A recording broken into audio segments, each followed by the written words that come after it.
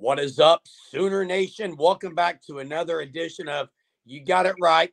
Uh, Sooner women's basketball game recap as the Sooners uh, beat an in-state, I guess you could say rival, but in-state opponent in Oral Roberts, winning going away 103 to 74. Before we get started, if you aren't subscribed, maybe you're new to this channel, uh, following OU women's basketball, make sure you subscribe to our YouTube channel, turn on your notifications, like and comment as we cover all things Sooner sports. Let's get right into it.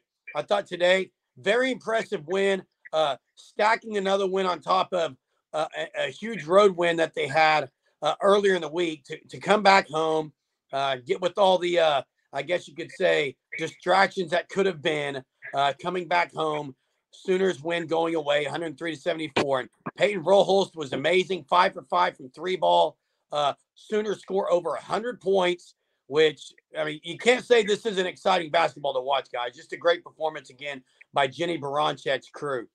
Yeah, they got some pretty good shooters. Payton Verhulst, Lexy Keys, Sahara yeah. Williams. Yeah, oh, yeah, they do. They got, and you know, they're out still without Liz Scott. Uh, and uh, just wait. I mean, here's the thing: a lot of people could have said after the big win on the road, ranked team, that you come home and you have a letdown. And a letdown may not be a loss, but a letdown may be squeaking by with the W, not looking great doing it.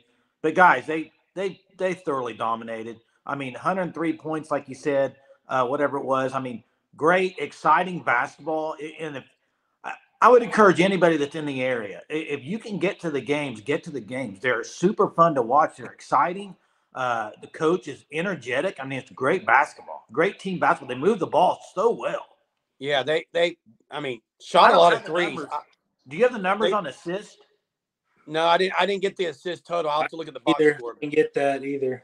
But uh, a lot of three balls, and I tell you what. Uh, you, you talked about getting there and watching them. They do play Wednesday against, I think it's Alabama State, but it's like a 10:30 a.m. game in the morning. I thought that was interesting. But uh, Baranczyk is growing uh, the fan base there in Norman. Okay. Uh, she's doing a great job. She's not happy. Uh, she's not content with where they're at either, which is what I love. If you heard her in the post game, talked a lot about we're going to get better. People, I think the phrase she used was people keep asking and questioning, like, why did why do I keep saying we're going to be better? Because we are. We're going to get better day by day. Uh, she preaches that. Now, one area where they do need to be better at, Braden, is turnovers. Turnovers. They had 21 again t- today. So mm-hmm. this is two games in a row that they've continually uh, turned have high numbers of turnovers. That should get better uh, as the season progresses, but that that is an area that could bite them later on, don't you think? Yes, for sure. Well, and you know, last week against Ole Miss, they get, they get the W, but remember they didn't shoot very well at all from three in that game. Uh, so, I mean, that obviously they still have things they need to work on, but look at look at transfer there from Louisville. Uh, I, I have a trouble pr- pronouncing her name. Uh, the one, yeah. I mean, transfer. Look at look at what she's doing. I mean, they got so many weapons. I think that's what's different. And guys, women's basketball now, uh, it's all fun to watch. Caitlin mm-hmm. Clark for Iowa is unbelievable. But you had last week, you had LSU get beat. Uh, so it's open. Parity. Parity is parity is here now in college basketball. Women's in women's basketball. basketball. yes, I think, I think the Sooners were twelve of twenty nine today. I might be wrong. I think they were twelve of twenty nine from three ball, which is it's above thirty percent. Yeah. Uh, it's not not excellent, but it's it's around That's pretty good. That's pretty good. Not bad. Twelve of twenty nine. Of course, Payton Verhulst was five of five herself. So, yeah. what else stood out to you, uh, Braden? Lexy Keys. Where's she, she from again, Braden? She's from Tahlequah. Yeah, I know, but she's also from OSU, which is hilarious. Yes. It's hilarious that OU has Trace Ford, uh, Lexy Keys, Kelly yeah. Maxwell. Like, seriously, OSU, you can't keep the best ones. What's going on? But I'm pretty, I like this new freshman, these two freshmen. One's a center, and then one's a point guard. Now, Jones, uh, Jones had a good game today. Yes. And she had a good game against Ole Miss too. I think Jones has had two really good games. Yeah. Jo- oh yeah, Ashley Jones. Or, yeah, Jones yeah. or Jones. I, it's J O E N S. I may be pronouncing it incorrectly. No, it's Jones. Okay. Yeah. So I mean, It, it, you, you've said it, Jay. They're up tempo. Uh, they, they shoot a lot of shots. Uh, they move the ball. They're athletic. They have weight. I mean, they had four or five in double figures today. Last week they did well at Ole Miss. So it they're not a one trick pony, not a two trick pony.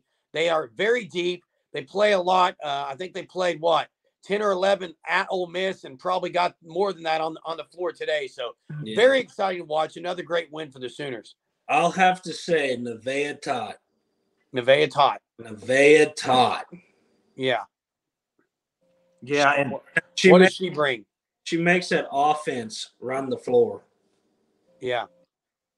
hey, and and you know she's got another thing about Garanti. She's got a great staff. I mean, her staff is unbelievable. A lot of them know a lot of basketball. I believe Michael Neal is still on that staff, and he played at Oklahoma men's basketball.